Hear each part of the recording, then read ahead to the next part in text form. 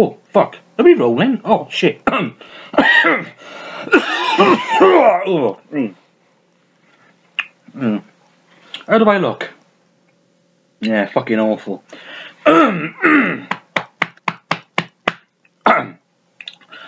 everyone and welcome to another video and in this video we're going to actually be talking about the Blu-rays, yes? A Blu-ray update without me, with me talking. Oh, lucky for you. Oh, yes. So yeah, we're going to be talking about one, two, three, eight, eight films. And the first film we're going to be talking about is the 1975 classic Dog Day Afternoon. Oh, just what can we say about this film? It's just classic, classic 1970s Pacino. Just Pacino in the 70s. Just, just a fucking man, I tell you. Godfather, Godfather Part 2, Serpico, uh, Bobby Deerfield, uh, and Justice for All. Just classic, just classic films. And this, it's oh, it's an absolute classic, just absolute classic. And you haven't, and if you haven't seen it, and you don't know what it's about, basically, it's based on a true story. Basically, it's I don't know, I don't know what year it was. I think it was the early set, the year about uh, about 72, 73. A bank robber goes into a bank to rob it to pay for his boyfriend's sex operation. I know, I know. You're thinking, yeah, it's a true, it's a true story. I mean, back then, sex operations were just not. They were just not. Just, just didn't happen.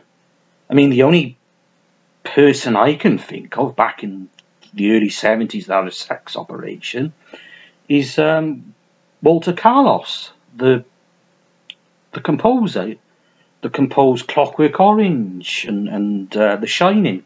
He had a sex operation in the early seventies and became Wendy Carlos. So that's the only person I can think of back then who, who had a sex operation.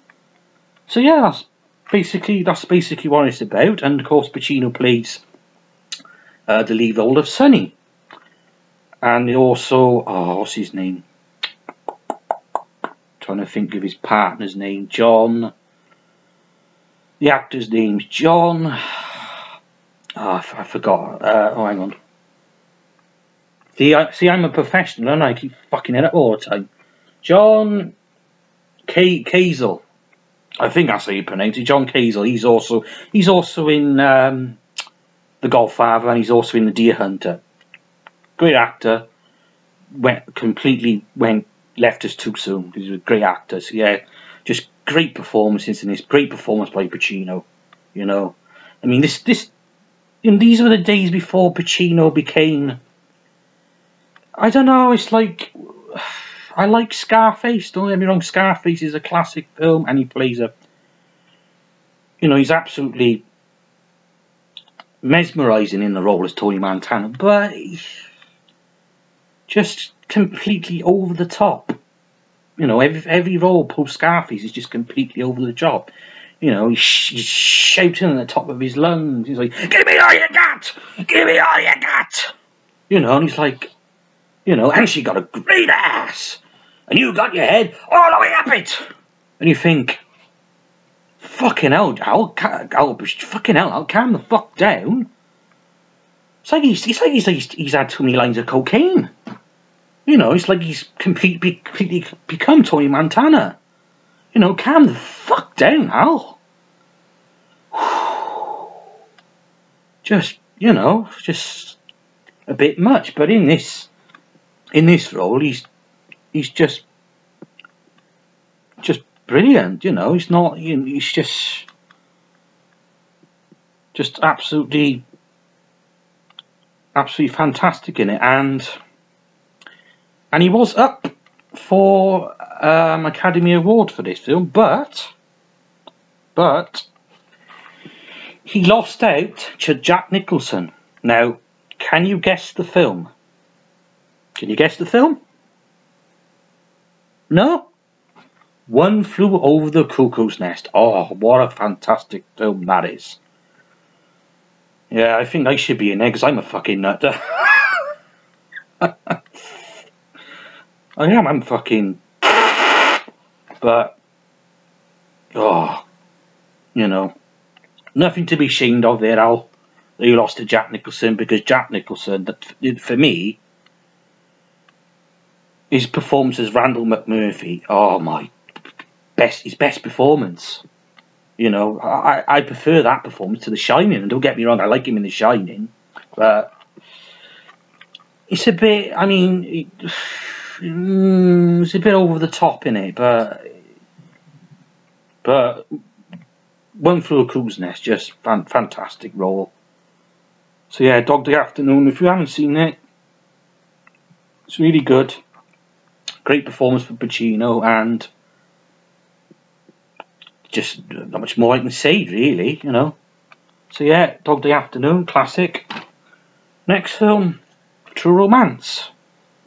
True Romance, yeah, classic, classic 90s film. Wonderful, beautiful score by Hans Zimmer, just fantastic. And Christian Slater, for me, he's never been better. You know, this is my favourite role of his. You know, Patricia Arquette is very likable in it. She's very, you know, great performance. Dennis Hopper, brilliant in it. And of course, Christopher Walken as the Sicilian uh, boss. Very, very, very, very, very nasty in that. And a very, very chilly performance. So yeah, if you haven't seen this film, basically it's two lovers on the run, and they've got the Sicilian's money. So it's just brilliant, just brilliant. It's it's more it's more I I sort of compare it to um, the David Lynch film Wild Wild at Heart, but it's more obviously it's less weird and more conventional than than than uh, Wild at Heart because David Lynch is a bit. I don't know. He's a bit fucking cuckoo, isn't he? He's just. He's very. He's very. I don't know. It's like. I watch one of David Lynch films. It's like I've taken too many tabs of acid. You know, you're watching thinking, what the fuck am I watching? But I do like David Lynch, don't get me wrong. I mean, Wild Heart's brilliant. And Blue, and Blue Velvet, oh. Fucking hell, Dennis Hopper.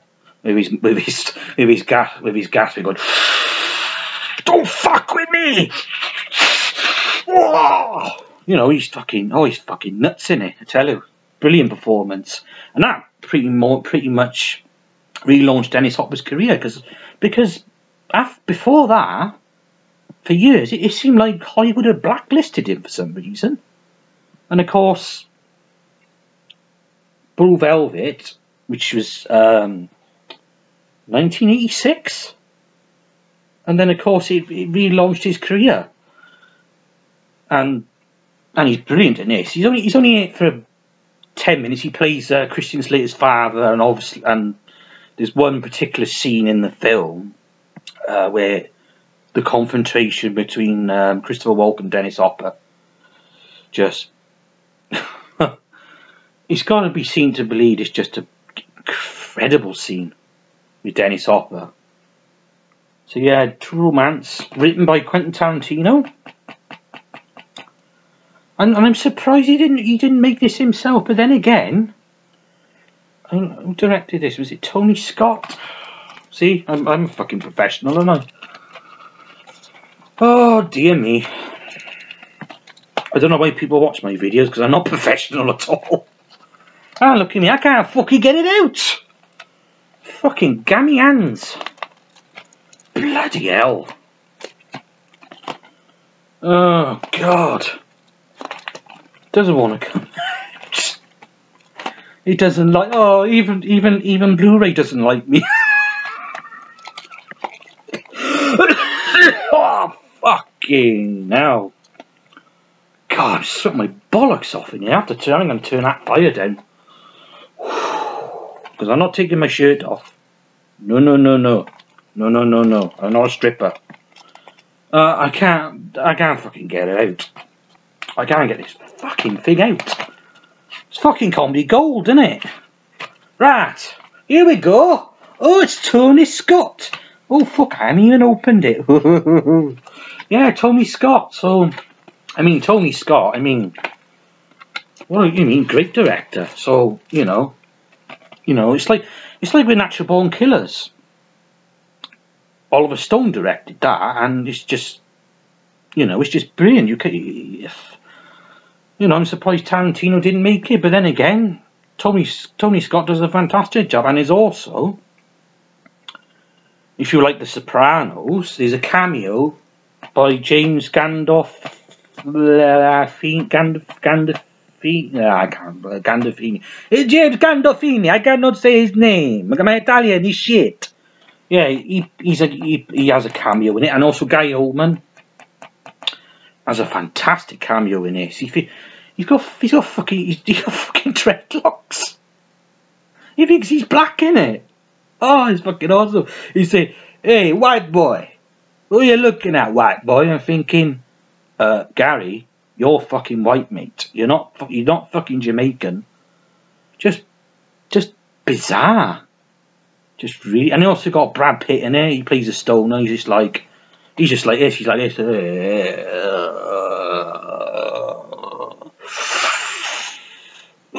I'm just watching telly all day, dude. You know, like typical 90s slacker. You know, just just sat in his fucking shorts, just smoking weed. Oh, I don't know where they are, dude. I'm just tripping, dude. You know? Yeah.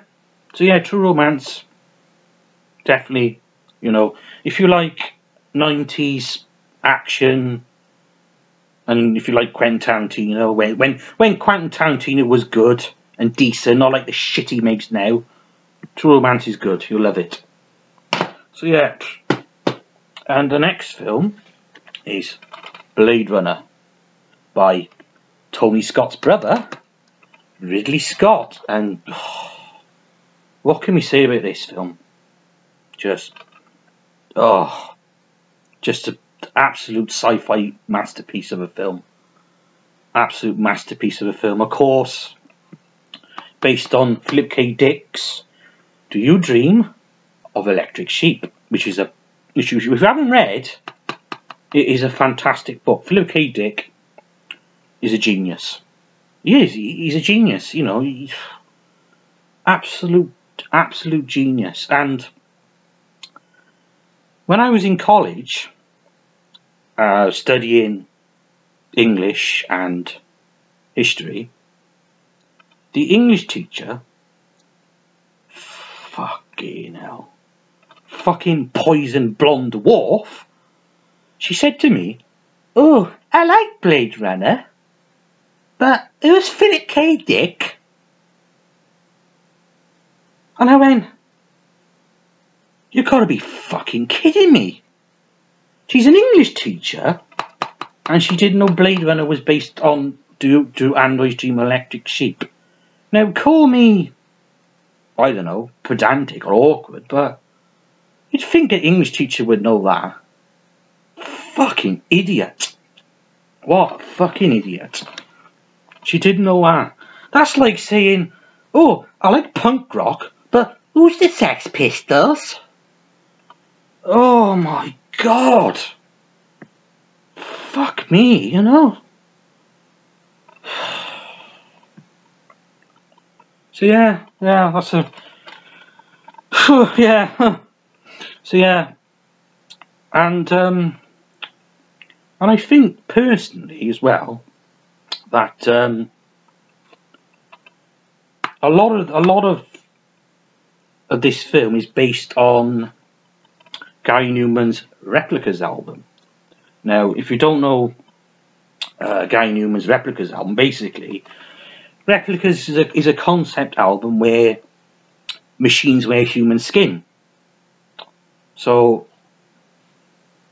the mach- the machines in this, where humans are called replicants. Now, in the original book, they're not called replicants, but in this, they are called replicants. So it makes me wonder: Did Ridley Scott was he influenced by Guy Numan's replicas? Because Guy Newman mentioned it in his autobiography, because he because he's he's a big fan of this film, and he was like, I wonder if they got it from my album. So, I mean, that's a question to ask Ridley Scott, isn't it? And you know, be a, be a fantastic question, wouldn't it? So yeah, Blade Runner. Basically, he has to find Roy Batty, which which is a replicant, and he has to retire him, and that's basically that's basically the story. But the, the special effects are fantastic. Just uh, you know, before that, before all this fucking CGI fucking bollocks, just you know, proper special effects and Roy Batty is a great he's a great villain. He's heartless. He's cold. He is a machine. He has no feelings for anyone. He's just fucking horrible. And Daryl Hannah, fucking hell. Don't fuck with her, because she'll wrap your wrap her legs round your head. Oh yes. So yeah, Blade Runner. Just, just and the and the Vangelis soundtrack. Oh fucking awesome.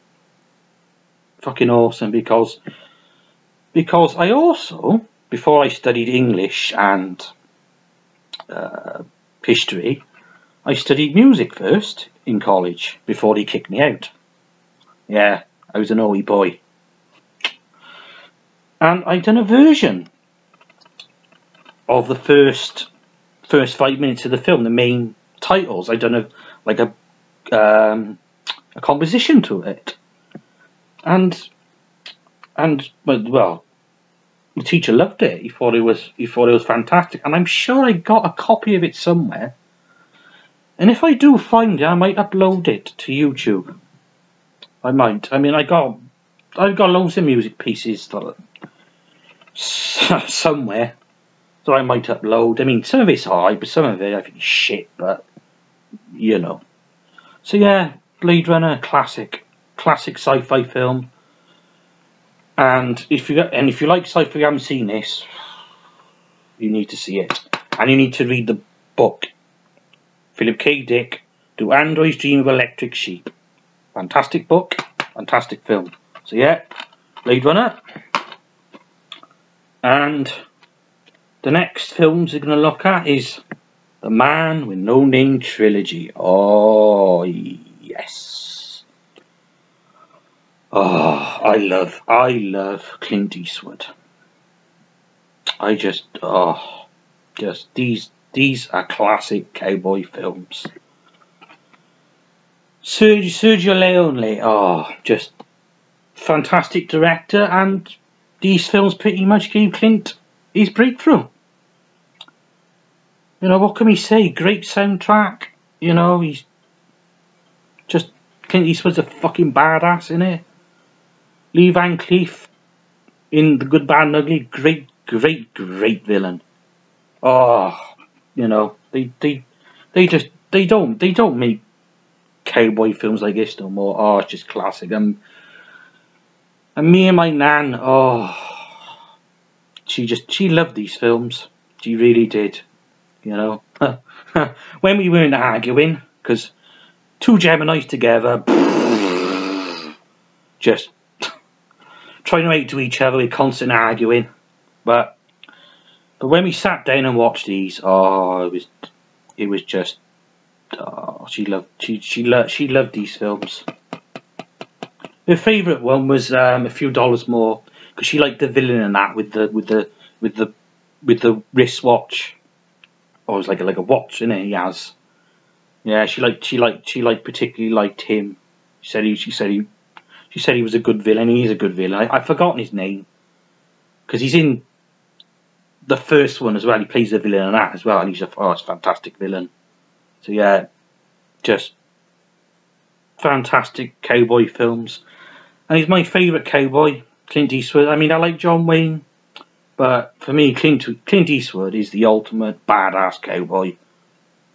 You know, these are great. And I, I, I need to watch these. I've watched them on DVD, but I need to watch these on Blu-ray. Because they're just fantastic. So, yeah. Uh, next one is Lost Boys. Lost Boys, great, great, great horror film. 30 years old this film is. 30 years old. Just, oh, just time flies, doesn't it, you know? And what I like about this, what I like about this film is it, it sort of modernised the vampire. Because before this, it was just like Christopher Lee with his fangs out. But with this particular film, it sort of modernised the vampire for for the teenage audience. So you got Kiefer Sutherland, you know, with his gang, and they they they they're young vampires. They're not ugly, decrepit, middle-aged vampires. They're young. They're young. They're wild. They're like they're like teenagers, you know. They're like, you know, they want to have a good time. They want to rebel. So that's what that's one of the things I like about it is they modernised the vampire. You know, you, it modernised it, and and the sound the soundtrack is the soundtrack's brilliant. It's very eighties. You know, it is. You, you listen to it, it's like, oh my god, this is so fucking eighties. But you know, you got that you got that big oily guy looks like to me looks like Triple H with a fucking saxophone. And you think, man, 80s machoism. Oh. So yeah. So basically, what if you haven't seen, it's basically what it's about. About this family move to Santa Carla, the murder capital of the world, according to the grandfather. Yes, they move there and Michael gets involved with Kiefer Sutherland's gang because he he has a crush on the lady vampire and basically sort of morphs into a half vampire and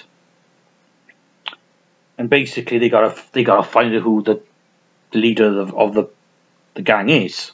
So I won't spoil it, but it is it is good. It is it's very it is quite funny in parts particularly particularly the Grande is so funny. Like the one part he takes wants to take Corey Haim uh, out to town Santa Carla, and he's like, "I don't warm up a little. See that? Just like a baby pussycat. Okay, let's go to town." And turns the engine off, and Corey Haim's like, "I thought we were going to town." Well, that's the closest I like to get to town. Well, if you've been to Newport, Grandad, fucking hell, God help you, mate. What I didn't like about Newport is all the goddamn vampires.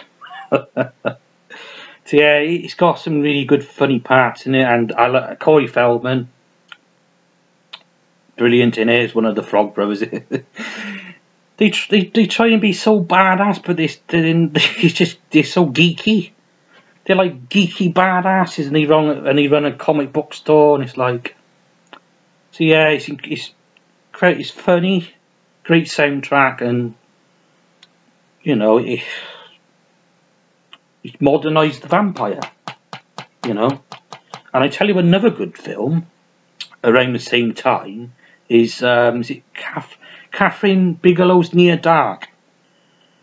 If you haven't seen that, oh Fucking hell, that's a, that's another that's near dark is probably up here with this. It's a really it's a really good that's a really good vampire film and it's quite it seems to be underrated. It does seem it does seem to be underrated as a film. And I don't know why. I think it's I think it's brilliant. It's got uh, Lance Herrick Henriksen in it. Bill Paxton's in it. Bill Paxton's in it. Rest in peace, sir. Great, great vampire film. So yeah, Lost Boys is Oh, it's brilliant, and I'm so happy to have this on Blu-ray. Just, you know, Corey Haim, rest in peace. So yeah, Lost Boys, and the last one is John Carpenter's The Thing. Oh, I fucking love this film. Oh, just John Carpenter. For me, he, uh, he's in my top five. He's got to be in my top five horror directors for sure. You know, his films are incredibly atmospheric, creepy, moody. The soundtracks are haunting, and it's a, it's just oh my god, it's just I don't know I don't know anyone that doesn't like this film. I don't know anyone. Not at all. Everyone seems to regard a lot of people regard it as his best as his best film. Um, I would go for either Escape from New York or Assault on Precinct 13, but it is up there. It, oh, it is up there. Yeah, basically what it's about, it's about an alien that's come out of the ice. The ship is in the ice.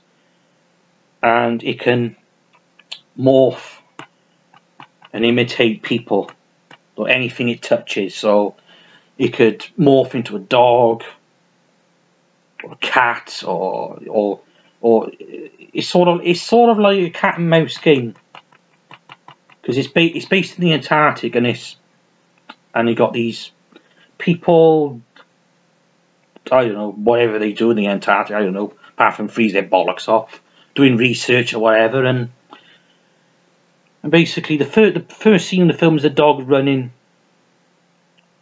and it's, and there's a helicopter and, all, and it's like the Norwegians are trying to kill the dog the dog is the alien, is the thing. And then of course it it morphs into other people, and it's like a guess, it's like a guess who, like who is the thing now? And it's just it's it's incredibly it's a it's a it's a, it's a suspenseful film. It keeps you on your toes. The soundtrack's fantastic, and the effects by Albert Albert Whitlock are fantastic. See, I always thought Stan Winston done the effects of this for some reason, but it's Albert Whitlock and it's Great, great, great practical effects. You know, none of that CG fucking bollocks. It's proper fucking practical effects. And Kurt Russell, MacReady, brilliant, brilliant as always. Kurt Russell, you know, the main, a main regular John Carpenter films. You know, he's he's great in Escape from New York. He's great in Big Trouble Little China. Just one of my favourite actors. And I got to see this in, in Cineworld on the 30th anniversary in 2012 and on the big screen. Wow. Incre- it's just incredible. It just inc- incredible. Really, really, really, really incredible. Oh. And one, and one of my favourite scenes of the film, which is sort of like unintentional comedy. Basically, they're all tied. They're all tied to a couch, and one of them's a thing, and they burn him. And the last guy's like, "I appreciate you men have been through a lot, but I would rather." And when you find the time, see, I'm fucking up the lines. When you find the time, I'd rather not spend the rest of this with a tied to this fucking couch. And you think. Fair play, mate. You don't want to be tied to. You don't want to be tied to that. The rest of the winter tied to that fucking couch too. You'd be freezing. Your, your your cock would be a block of ice. so yeah, the thing. Just oh, classic, classic film, and I think it's based on a book. I'm sure it's based on a book, and and it is a remake as well. It's a remake of the night uh, oh, 1950s The Thing from Another World, which I heard is not very good. But you know, the 50s, you know,